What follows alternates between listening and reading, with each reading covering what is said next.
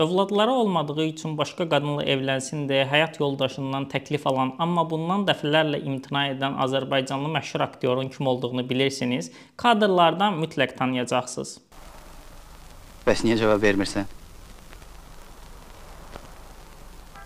Harda tanış olmusunuz?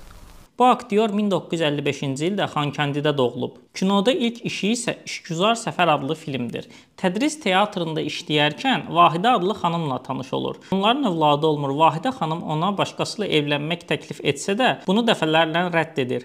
Vahidə xanımı çox sevdiyini həmişə bildirir. Bu şəxs təbii ki, Fəxrəddin Manafovdur. Onun oynadığı hansı filmləri bilirsiniz? Rəydə yazın. Bu cür videolardan xəbərdar olmaq üçün kanala abunə olun.